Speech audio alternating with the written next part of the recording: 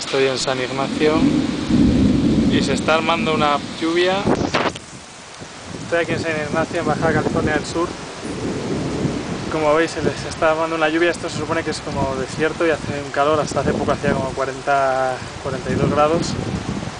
Y ahora parece que va a caer el tormentón. Luego se siente.